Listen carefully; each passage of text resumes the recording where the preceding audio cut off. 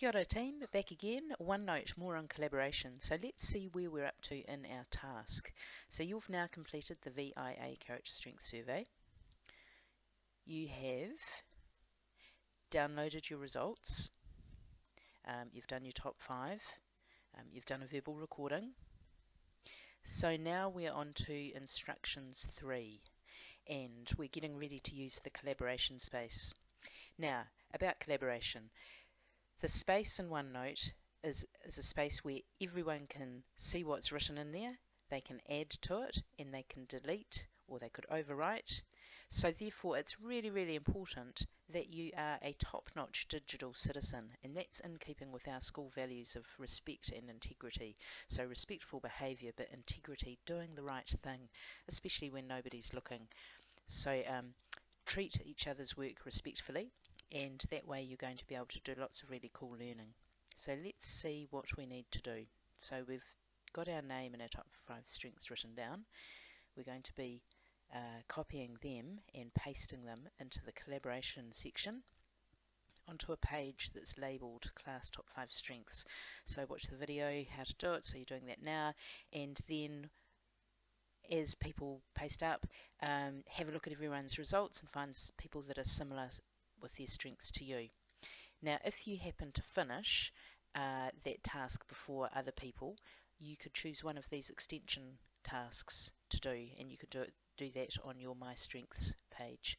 So let's just head to My Strengths page right now because I need to go and collect my top five. So I'm going to, so I've tapped on that and then I'm going to pull one of those circles down so I highlight everything. And I'm now going to use key controls control C and that copies. Now I need to use I'm just going to show you there is that little upward curly green arrow and I'm going to tap on that carefully.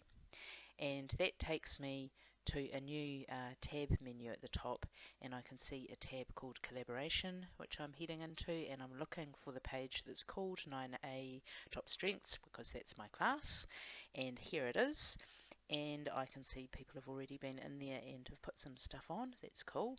So let me find a space. So I'm going to put the cursor down and then I'm going to use the keys again or I could uh, tap the paste but I'll use the keys control V and there it is. So knowing what mine are, I want to have a look through what other people have written. Oh, Katrina, she's got curiosity as her top one as well. And Anne, she's got curiosity in hers too. So we might be able to form a team. So that's going to be cool. Now, if I head back to that little upward arrow and I go back to my page and back to our instructions. So from the research about you and your strengths, you are now heading to the group collaboration task.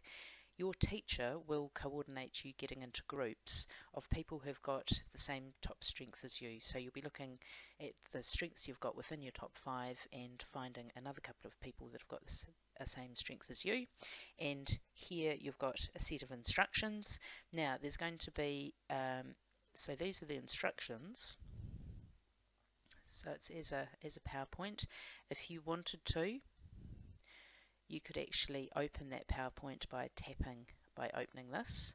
Um, but you, equally you can just look at it on the page. If you stay on the OneNote which is probably easiest if you look down the side or you can shrink the page a bit you'll see that there's going to be some some videos.